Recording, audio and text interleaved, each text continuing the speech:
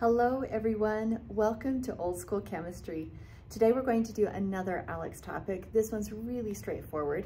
It is called naming and drawing normal alkanes.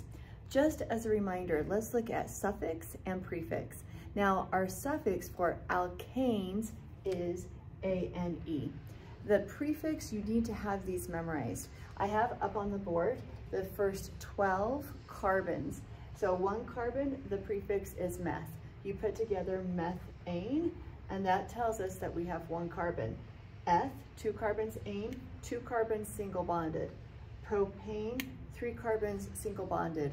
I will link up above a couple of videos if you have more questions on that. But let's go ahead. Let's jump in and we will do some problems. Okay, so on this one, the ALEKS topic topic is going to oscillate back and forth, back and forth between drawing and naming. So here it says, draw the skeletal line structure for propane. So I think prop, okay, that's three carbons. Now the skeletal structure, uh, as a reminder, when I touch my marker to the board or my pencil to the paper, that's carbon one. So I have one, two, three, and that is propane.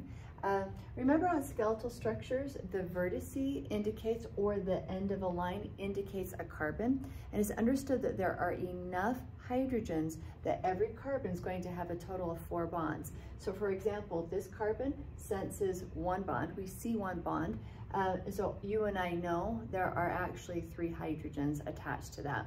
This carbon, we see two bonds, so there are two carbons attached to that. And then again, this carbon, has one bond that we see, so we know that there are three hydrogens attached to that.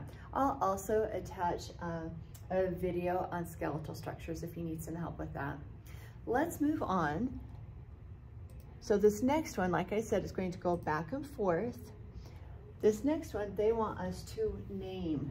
They want us to name these skeletal structures. So here's what I do. Number one, I notice they're all single bonds. So it pulls into my head, this is an alkane, the ending is going to be A-N-E. Number two, super easy, you count the carbons. So I, am going to begin on the left-hand side. Here we are. One, two, three, four, five, six, seven, eight. The prefix for eight is oct, and the suffix for all single bonds, ane. So that is octane. Pretty great. Let's do another one. One, two, three, four, five, six, seven, eight, nine. The prefix for nine is non, non, and all single bonds, ane, nonane. Let's do our last one. One, two, three, four, five. The prefix for five is pent. The suffix for all single bonds is ane. And boom, there you have it. We're finished.